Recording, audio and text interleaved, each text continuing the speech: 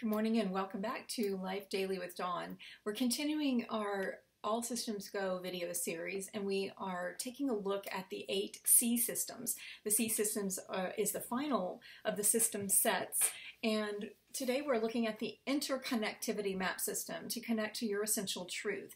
These are momentum action pathways to come together um, and to connect within first to the hope of humanity so that you and we might begin again and weave a world of wonder. What more perfect time for this than the time we are living in right now? It is so important, I think. And so let's take a look at the eight momentum action pathways that comprise the interconnectivity map system. The first is so important, and uh, it took me a long time to embrace this one. But when I did, everything shifted in my life, everything. So the first momentum action pathway of the interconnectivity map system is to become aware of, to trace back uh, an action you might take and to become aware of what is it that prompts in you the desire to avoid or deny another person or situation or it could be anything really uh, experience so you have to consider what is this desire or this perceived need or this threat that I am perceiving uh, the moment before. I take some action to uh, correct another, to judge another, to condemn another, or to wallow in despair about a situation. But essentially, you're removing yourself or seeking to remove another um, person or situation from your field of experience. And life is about allowing and honoring and moving forward with grace. And to practice that love and peace and to experience the joy that we all want to experience, we need to take a look at where we are blocking interconnection or denying it, or um, otherwise fearing it. So, what is it within you that is prompting you to uh, avoid? Uh, so, run away or hide from, um, or deny, block, push away. Um, and, you know, often those look like the, the emotions. Uh, it looks like fear, um, anger, can look like sadness. Um, it, it can look like, um, it can look like just um, really cruel and cutthroat um, denial, and it also can look like um, just some arbitrary uh, thing, but it always has its root within us um, as a perceived uh, need or a something that we're uh, seeking to do to protect ourselves. So, anyway, the first one is to become aware of what is prompting the desire to avoid or deny. Me move on. The second momentum action pathway to avoid further polarization and separation. Begin by developing a deep understanding as you stand in that gap. We talked about it in, in previous weeks or, or previous uh, days of Life Daily with Dawn. We're talking about standing in that gap and even being present to what is unknown, what you don't know about yourself. Maybe you don't know why you're doing it you just feel you don't trust somebody or you feel that you um, don't want that certain experience. You want to know about it? You don't want it in your life. I have that that a lot more than I do the other. But um, but anyway, begin to hold a deeper compassion for yourself, for all you don't know about what is within you, and begin to understand that this quick um, quick rush to judgment or the need to act quickly um, even even when it is um, for uh, you know what you see as the eradication of evil um, or the uh, a step for good, it always leads the quick rush to judgment always leads to further division and to the replication of the very illusion to which you have succumbed in the first place. And so it's actually a big loop. And so the second momentum action pathway is to avoid further polarization and separation by being willing to just stand in the gap. You don't have to be willing to uh, practice a step forward just yet. Um, you just need to stand in the gap and un, uh, begin to have compassion for yourself in this situation. Like, I see that I really want to run away and forget that ever existed, or I see that that person is acting inappropriately and I want to swat them down, whatever it is, um, and have a little compassion for yourself um, and have compassion for all that is and just get quiet and get still. But at all, um, as much as you can, avoid further polarization and separation. So stop the behavior, in other words. The third momentum action pathway is to affirm your connection to the divine, to see the gift of this challenging situation, to acknowledge and honor that gift, and, and to know that it could be the gift itself could be masked here because because we are um, in a situation of essentially desperation at trying to seeking to change something out there um, or to avoid something out there to protect ourselves um, and and so it, it, it heightens everything. And so when that happens we miss the gift that is there. And so just first uh, the first thing to do here is to affirm your own connection to the divine. I am a child of god. And to see yourself in that light and then to know that you are connected now to that because you're sourced from within, remember? And so you're connected to that flow of life, to God, if you choose to use that word, um, and begin to rest in this truth. The fourth momentum action pathway is to see that the outer situation often reflects the inner situation in some way. And so begin to consider whether you're the evil that you see out there, the injustice, or the unconscious choice of others could possibly be a reflection of some inner condition. Now, this is one that many people, myself included, resist.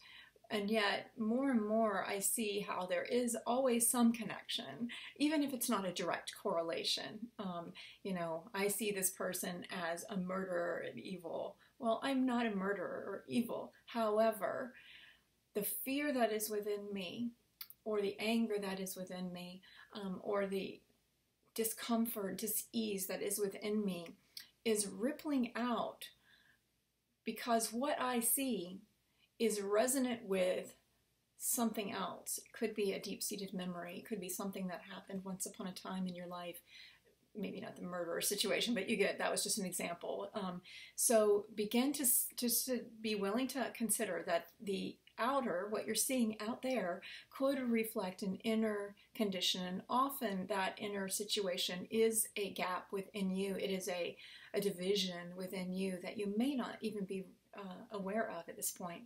The fifth momentum action pathway is to practice inner connection, to source the inner life by connecting the beautiful lines that connect one facet of who you are to the other, and to begin to really connect in with that flow within you, and to reclaim any soul fragments that you yourself may have cast off or denied or rejected um, or alienated. Because again, it is the division that we have created within ourselves that the where we have done this within ourselves that and then then it goes outward. So consider how you might reconnect and reclaim um, to your essential truth, but to to who you are, to the whole of who you are, your whole self and your soul self.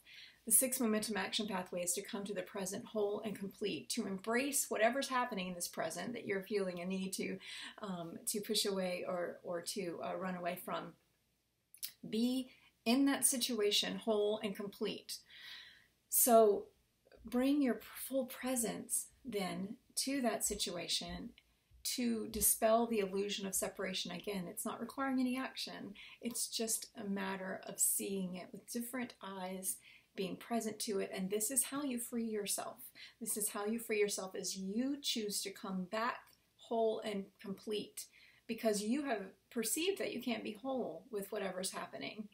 And, and there's some something that's a threat to that, and there's never anything that's a threat to that. Um, it's a choice. So see yourself as whole and complete and come fully to the present and know that you are well and nothing can change, you know, change that um, wholeness. Now, this is not to say, I just want to put a little caveat in here. This is not to say to walk into the middle of a dangerous situation or be in a, in a, in a situation that really is detrimental to um, you. But even if you're doing this from afar, come to that situation as a whole individual and see yourself in that light. And the seventh momentum action pathway, practice compassion. See that both inner connectivity and interconnectivity are the wellspring of deep compassion, which means that, you know, what does compassion mean? To experience passion with, to come into life with another situation, another person, another um, opportunity. So allow love to remove that veil that veil of illusion that is between you and this person, place, thing, um, and and also when that veil is lifted, you will see that uh, this idea that you had of good and evil and right and wrong and dark and light was a little limited and and that's where we are in our world right now that's our opportunity is to realize that all of that is held in one and to rise um, above the division um, that we have felt a need to perpetuate in our world, in our lives. The eighth momentum action pathway is to find your joy, to shine your light, to celebrate your truth, to rejoice in the opportunity to begin again and allow your inextinguishable light of love, the one that's right here within you, and always, oh, it's an eternal flame of life, to allow that to join with other lights and, they're beautiful and varied lights and enjoy a whole new way of freeing yourself and the world around you when you begin to live in this way.